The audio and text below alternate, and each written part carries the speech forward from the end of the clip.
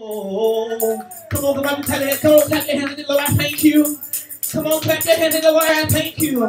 Come on, think about a good moment and thank you for something. Huh? He provided for you. Come on, tell him thank you. Come on, tell God thank you. Come on, tell him thank you. Somebody open your mouth and say, Thank you, Lord. Thank you, thank you, thank you, thank you, thank you. Thank you, thank you, thank you, thank you. Come on, then clap your hands real bad and tell God thank you. Come on, tell God thank you. Come on, tell God thank you.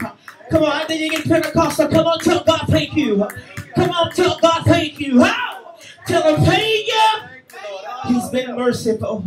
He's been good. He's been merciful. You want to lift your hand and throw your head back and say, Lord, I thank you for every moment, for every setback, for every delay, for every moment I needed you more. Lord, I thank you. If I had never been down, I didn't know what up like. If I had never been hungry, I wouldn't know what a good meal feels like. But I thank you for every hungry moment. I thank you for every tired moment. I thank you for every worried moment. I thank you but you brought me over. He brought me over. He's kept me in my difficult moments. He's kept me in my weary moments. When I wanted to give up, He's kept me. Somebody tell God, thank you.